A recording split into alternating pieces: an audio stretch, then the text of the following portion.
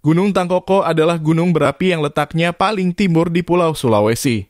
Secara administratif masuk dalam wilayah Kota Bitung, Provinsi Sulawesi Utara. Berada pada koordinat 1 derajat 30 menit 58 detik lintang utara dan 125 derajat 11 menit 22 detik bujur timur.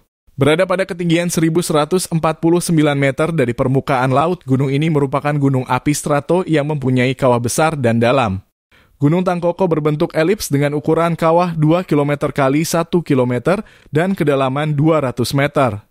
Gunung ini memiliki gunung api parasit yaitu Gunung Batu Angus dengan ketinggian 700 meter dari permukaan laut yang berada di sisi timur dari puncak Gunung Tangkoko. Erupsi Gunung Tangkoko bersifat eksplosif dan efusif eksplosif merupakan erupsi dengan produk berupa abu, lapili maupun bom vulkanik, sedang efusif adalah lelehan berupa aliran lava.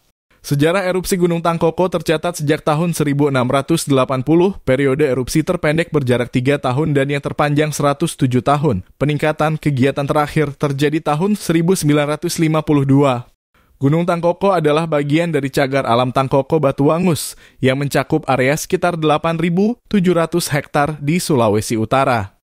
Taman ini diakui secara internasional karena kekayaan hayatinya yang luar biasa. Gunung Tangkoko adalah rumah bagi berbagai spesies endemik termasuk monyet hitam Sulawesi, tarsius, dan beruang Sulawesi.